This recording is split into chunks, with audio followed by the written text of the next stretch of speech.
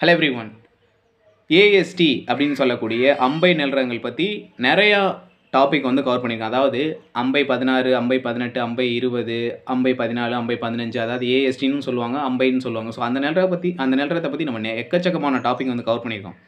இன்றைக்கி வந்து அந்த வரிசையில் வந்து ஏஎஸ்டி ஒன்பது என்ற நெல்றதை பற்றி தான் பேச போகிறோம் நம்ம ஏ ஏஎஸ்டி அப்படின்னு சொல்கிறாங்கன்னா இது வந்து அம்பை அதாவது நெல்லை மாவட்டத்தில் உள்ள அம்பாசமுத்திரம் தமிழ்நாடு வேளாண்மை நெல் ஆராய்ச்சி மையம். அவங்க வந்து வெளியிட்ட நெல் ரகங்கள் எல்லாமே வந்து அதாவது அம்பாசமுத்திரத்தில் உள்ள தமிழ்நாடு வேளாண்மை பல்கலைக்கழகம் வெளியிட்ட எல்லா நெல்ரகமும் ஏஎஸ்டி அப்படின்னு சொல்லுவாங்க.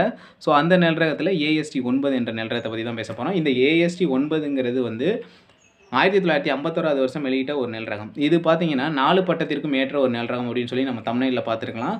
ஸோ நாலு பருவம்னா அது என்ன பருவத்தில் ஏற்றது அப்படின்னு பார்த்தீங்கன்னா இது வந்து மிக குறுகிய கால நெற்பயிர் அதாவது தொண்ணூறு தொண்ணூறு நாள்லேருந்து தொண்ணூத்தஞ்சு நாட்களுக்குள்ள அறுவடைக்கு தயாராகக்கூடிய ஒரு நெல் ரகமாக இருக்கிறதுனால இது வந்து நாலு பருவத்துலையுமே வந்து பயிர் செய்வாங்க. அதாவது தமிழ்நாட்டில் நீர்ப்பாசன வசதி உள்ள எல்லா மாவட்டத்திலையும் பயிரிட்டிருக்கிறதா கருதப்படக்கூடிய இந்த நெல் ரகம் வந்து சொர்ணாவாரி கார் குருவை நவரை இந்த நாலு பட்டத்திற்கு மேற்ற ஒரு நெல் ரகமாக கருதப்படுது. ஏன்னா வந்து தொண்ணூறு டு தொண்ணூத்தஞ்சு நாட்களுக்குள்ள மிக குறுகிய கால நெற்பயிராக இருக்கிறதுனால எல்லா பருவத்திலையும் வந்து பயிர் செய்வாங்க.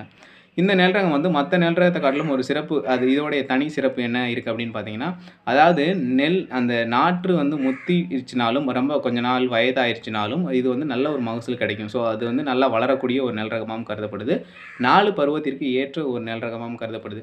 இதை பார்த்தீங்கன்னா விரைவி சம்பா என்ற நெல் விதையை வந்து இதை வந்து பியூர் லைன் அதாவது நல் விதை தேர்வு முறையில் வந்து உருவாக்கப்பட்ட தமிழ்நாட்டோடைய நெல் ரகம் தான் வந்து இந்த அம்பை ஒன்பது என்ற இந்த நெல் ரகம் அதாவது நல்விதை தேர்வு முறையில் தான் இந்த நெல் ரகத்தை வந்து உருவாக்கப்பட்டது. ஸோ இந்த நெல் ரகத்தோடைய மகசூல் எந்த அளவுக்கு கிடைக்கும் அப்படின்னு பார்த்தீங்கன்னா இது பெர் ஹெக்டருக்கு வந்து மூவாயிரம் கிலோ மகசூல் கிடைக்கக்கூடிய ஒரு குறுகிய கால நெற்பயிராக தான் கருதப்படுது. ஸோ இந்த நெல் ரகம் வந்து நோயை தா அதாவது நெல்லை தாக்கக்கூடிய நோய்களுக்கு வந்து மிதமான எதிர்ப்பு திறன் கொண்ட ஒரு நெல் ரகமாகவும் கருதப்படுவது தான் இந்த ஏஎஸ்டி ஒன்பது இல்லைன்னா அம்பை ஒன்பது என்று சொல்லக்கூடிய இந்த நெல் ரகம் ஸோ இந்த இதுக்கு முன்னாடி அம்பை அம்பை நிலரம் பற்றி நிறையா பேசியிருக்கோம். ஸோ இன்றைக்கி வந்து அந்த வரிசையில் ஏஎஸ்டி ஒன்பது என்ற நிலரத்தை பற்றி பேசியிருக்கோம். ஸோ இது ரிலேட்டடான ஒரு அக்ரிகல்ச்சர் இன்ஃபர்மேஷன் நண்பா. ஓகே அடுத்த வீடியோவில் மீட் பண்ணலாம். Okay bye